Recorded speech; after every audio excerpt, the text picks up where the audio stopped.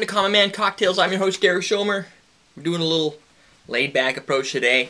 Um, what I wanted to do is I was doing some testing experiments to figure out what could freeze and what won't freeze in the freezer. Um, our freezer is minus 2 degrees Fahrenheit, so that's like 18.8 Celsius, negative 18.8.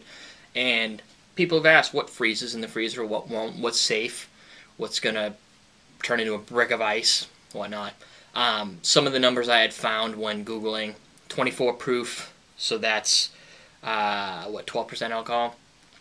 Not is a minus 6.7 percent or minus 6.7 degrees Celsius, so that's 20 Fahrenheit.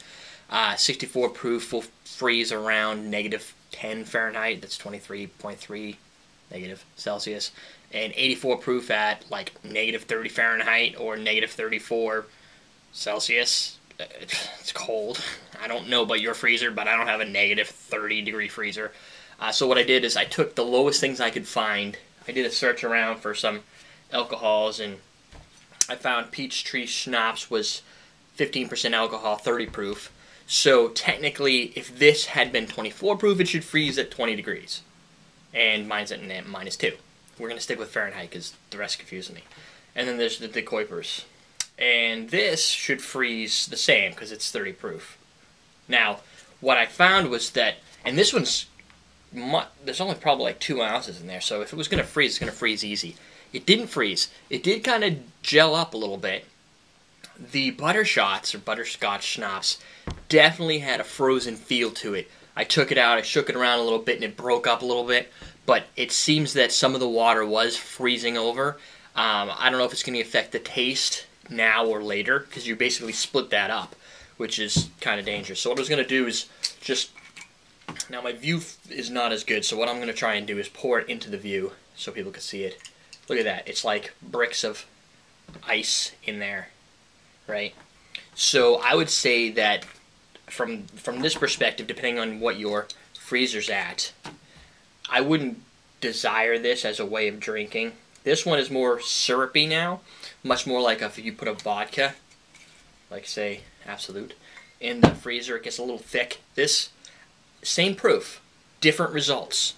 So I don't know if it's the makeup of what they are, but this one definitely has like a, a crystalline in the middle of around what's probably the more higher proof of alcohol, and it's breaking up the water.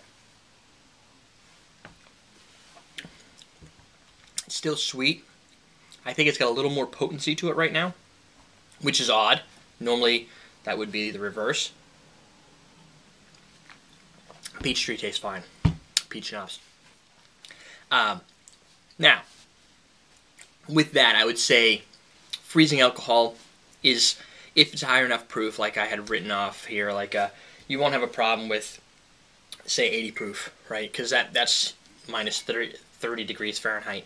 Um, why would you freeze it as opposed to not? Some people freeze it because they like to remove impurities, the taste of uh, the alcohol, if you will. Um, it works if you buy a really cheap vodka. If you're buying like a five dollar bottle of vodka, that's like something like like that size. I highly recommend that because you're you're going to remove some of that taste uh, while it's cold, and it will taste better. still not good, but it tastes better. Where if you put one of these in there, the only benefit is you like something chilled for vodka. The results what mixologists would tell you or a bartender maybe is that because it's so cold it doesn't dilute the ice when you're in cocktail shaker or stirring it's not going to dilute the ice at the same rate which means you're going to get less water in your cocktail which is undesired because the water breaks up the alcohol brings out the aroma um, so you may get less aroma same if you're doing a whiskey like if you like scotch on the rocks and you decide you're going to put it in the freezer instead you're going to still have the same chill factor of the scotch, but you're not going to have the same aroma effect because there's no added water. It's just cold. Uh, again, does it really matter? I don't think so. From our perspective, from our show, from the viewers, you do what you like, right? You do what tastes better to you in, in the way you want things to, to be. Um, so that's really all I had for freezing today. The other thing I did notice, and this was like my world ended. um, I went out to buy because I wanted to make my own Midori alternative, and I needed a, a base, a neutral base spirit. I was gonna go Tito's because you don't get much more neutral than Tito's. Um, it's very well filtered. However, Absolut was cheaper. Never seen that before. I mean, from a bottle design perspective, Tito has always been about uh, reducing price of the look and everything and making the high spirit inside because that's what you're really paying for. And I don't, and this is New Hampshire, and I'm not sure if New Hampshire bumped the price up because the demand was higher. Uh, it's award winning and they're bragging about it, and maybe that's why more people are buying it. It's cheaper, so maybe New Hampshire's jacking up that rate, which is sad because Absolut, you know, they put in the marketing money, they need to pay it off. They put in the bottle design, they need to pay it off, so it's going to naturally be more money.